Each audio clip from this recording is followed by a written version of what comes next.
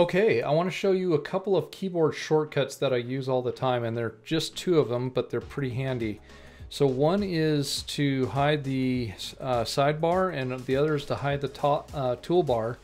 And I do it so frequently when I'm creating Google Earth videos that I thought I'd show them to you. So the commands are very simple. To hide the sidebar, it's Alt Command B and to hide the toolbar, it's Alt Command T. Again, those are the keyboard shortcuts for Mac. Uh, something similar for Windows, but uh, I don't use Windows anymore.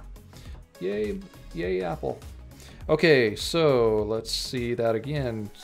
Option Command B, Option Command T, and they come right back.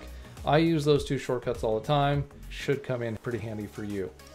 Okay, on to the next video, which is preferences, and that's quite a bit of options in preferences that uh, you're going to find very useful. Stay tuned for the next video.